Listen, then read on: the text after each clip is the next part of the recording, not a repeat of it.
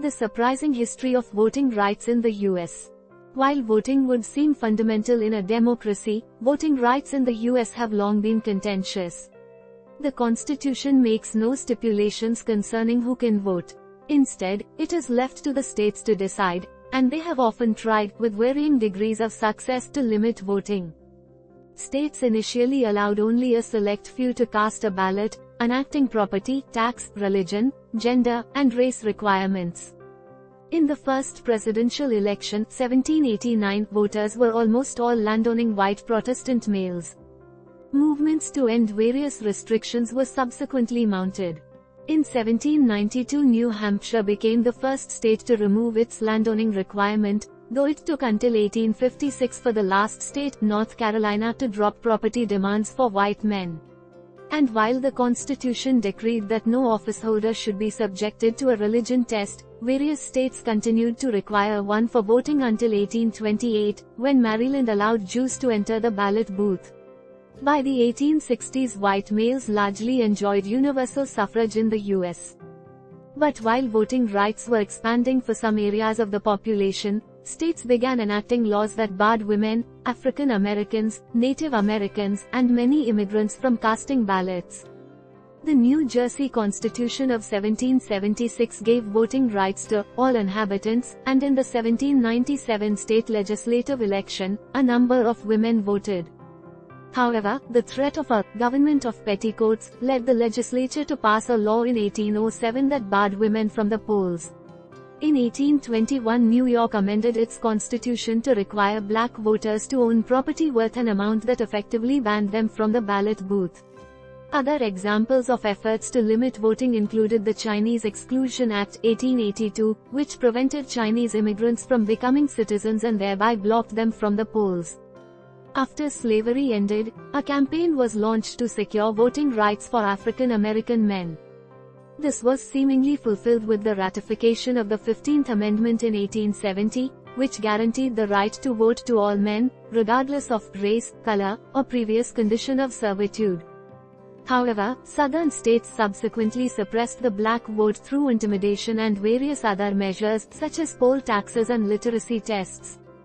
The latter often required perfect scores and were frequently designed to be confusing, in one Louisiana test, the person was told to write every other word in this first line and print every third word in the same line original type smaller and first line ended at comma but capitalize the fifth word that you write. Such efforts proved so effective that by the early 20th century, nearly all African Americans had been disenfranchised in the South. During this time, women were demanding the right to vote. The woman suffrage movement in the US began in the early 19th century and was initially linked with anti-slavery efforts. Backed by formidable activists notably Elizabeth Cady Stanton, Lucretia Mott, Lucy Stone, and Susan B. Anthony, the movement slowly made progress. In 1890 Wyoming became the first state to adopt a constitution that granted women the right to vote, and by 1918 women had acquired equal suffrage with men in 15 states. However, it was realized that a constitutional amendment was needed, and in 1920 the 19th Amendment was ratified when Tennessee approved the measure by one vote, becoming the 36th state to pass it. The victory was ensured only after a 24-year-old legislator changed his previous vote at the request of his mother, who told him to be a good boy. In the ensuing decades, other groups such as Native Americans 1957 gained universal suffrage. For African Americans, however, their vote continued to be suppressed. By the mid-1960s fewer than 7% of blacks were registered to vote in Mississippi. With the civil rights movement, efforts were renewed to enforce the rights of African American voters. In 1964 the 24th Amendment was adopted, prohibiting poll taxes in federal elections.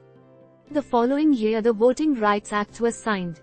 The landmark legislation banned any effort to deny voting rights, such as literacy tests.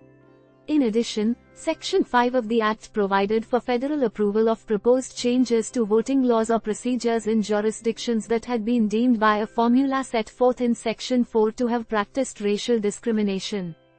Sections 4 and 5 were repeatedly extended by Congress, but in 2013's Shelby County v. Holder, the Supreme Court struck down Section 4, thus making Section 5 unenforceable.